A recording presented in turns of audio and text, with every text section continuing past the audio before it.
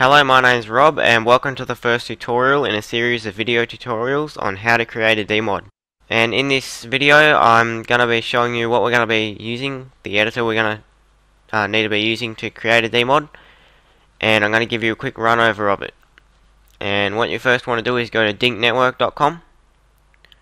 Go right down here and click on download now. And you'll get this page. And you want to go right up here click on files. You can install Dink Smallwood from here but I'm assuming you've already got it if you're looking into creating a DMod and go down here click on utility. Scroll down until you see Windinkedit Plus. It should be the bottom one. Click on that. And click download now. Uh, so this is the editor we're going to be using because in my opinion it's the easiest for a beginner to learn since it's like a Windows style application.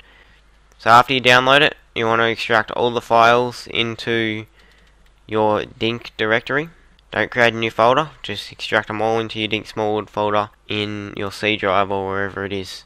Okay, now after you've unzipped Windinkedit uh, uh, into the Dink Smallwood folder, you'll notice you've got this skeleton this is exactly what it says. It's a skeleton DMod and it'll be used when you want to create a new DMod. But you don't actually need to do anything with it. It's all automatic so you don't need to worry about that. It's just basically a skeleton for any new DMods you want to make. So let's go into Windinkedit Plus.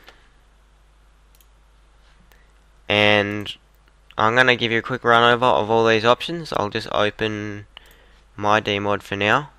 We'll create a new DMod in the next video. So I'm opening the Dark Avalon. This is a uh, much older version. It's quite incomplete. It's probably ages old. I don't know. But anyway, um, I'm going to give you a run over of all this. We got file. Uh, most of these are self-explanatory. New creates a new DMod. Uh, you got all these options. Be explained in the next video. Open opens a DMod. Get a list of DMods to open. Uh, save obviously saves your DMod. Play DMod that will open Dink Smallwood so you can test your DMod out. For instance, press play right here on my DMod. It'll bring up Dink Smallwood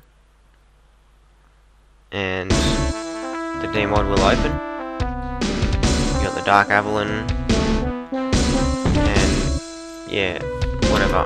Okay, we'll close it. Um, and yeah, then you've got DMod properties where you can edit your DMod properties anytime you like. And you got the three most recent DMods you opened and exit. That's pretty self-explanatory and I'm pretty sure you know what it does. Uh, in edit we got edit, redo, cut, copy, paste. Should know what all that does. It's pretty self-explanatory. Display minimap. Now I'll show you what that does. Say you're in a map screen. Uh, the shortcut for that is tab, so I'm just going to use tab. Uh, if you want to just get back to the minimap, I don't know, you can just press escape, it's easier, but just display minimap or tab, and it'll go back there. And if you press it again, it'll go into the last screen you're in. And that's display minimap. You got mode, sprite mode, tile mode, hardness mode. They will be explained later when we're using them. Uh, so will tiles, but these are all the tiles you'll be using when mapping. We've got settings, screen match, that's also used for mapping. Yeah, most of these will be explained later. We've got sprite hard default, now I'll show you what that does. Uh, when you're mapping, and you've got a, um, say you've got a sprite. Say you're mapping an area with a lot of, uh, where's the rocks? A lot of hard sprites and you see, keep going properties and clicking on hard. If you don't know what any of this means, it'll become clear later. Uh, when you tick hard, the sprite's hard and you can't walk through it, obviously. But every time you put down a sprite, you have to tick it again. Now, if you want it to be default on hard, you just go to sprite hard default. Now, when you grab an object and put it down, it'll be hard by default.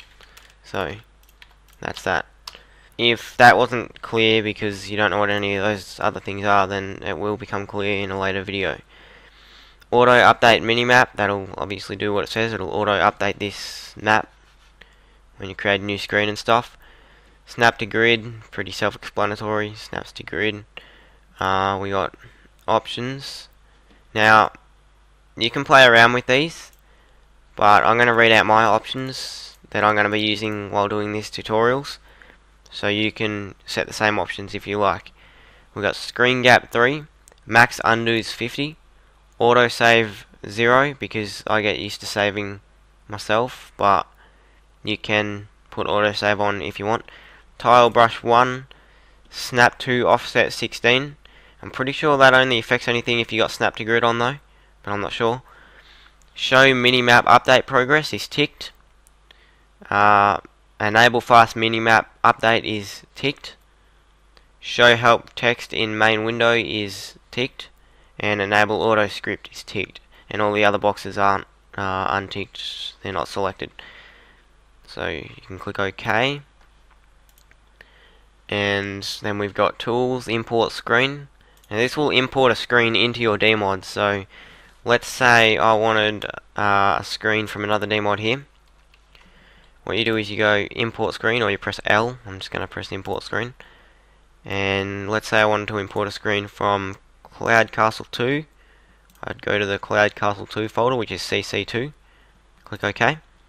Now what you want to do is you want to open the DMod first, detail the minimap, and memorize the screen number of the screen that you want because you cannot detail it from in here. You press space and nothing will happen. So just memorize the screen number right down here. And you'll be able to get it. So let's say I want screen number 240. Uh, you click on it, it'll take you back to your DMod and you click on the square, oh, the, the screen that you want it in. And detail it again and there's the screen but I don't want it so I'm going to right click on it and press delete screen. Okay you can also press take screenshot. That's quite handy for creating maps because it'll just let me just turn fast minimap update off otherwise it doesn't detail properly and I'm going to take take a screenshot and I'll show you.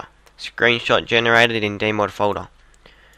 So if you go to your DMod folder, which in this case is TDA for me, you'll have your screenshot right there. And that's handy for creating a map. Okay, so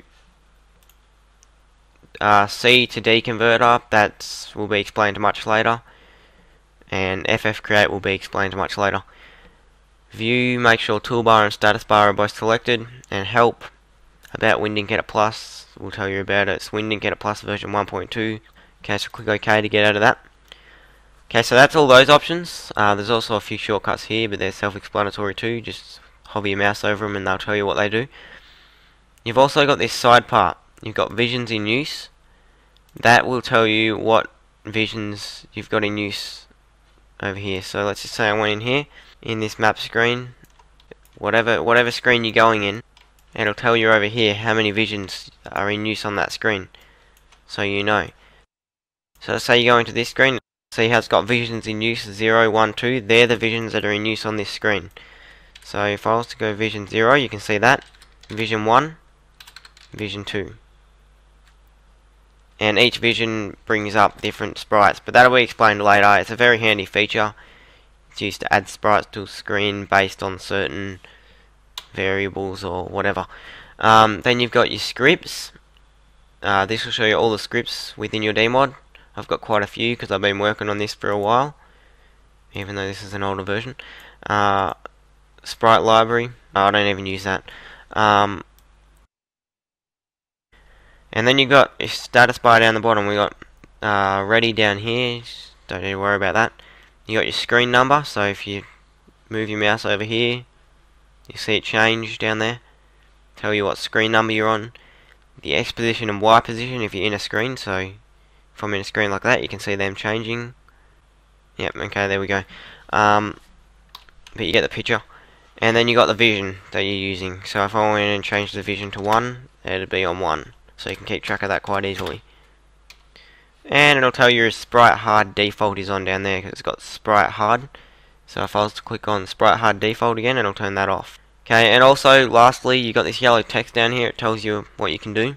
Just press F12 to turn that on and off. Okay, so in the next tutorial, we're going to be starting a new DMod, and I'm going to be going over some more stuff, like some of the stuff that wasn't explained fully in this video.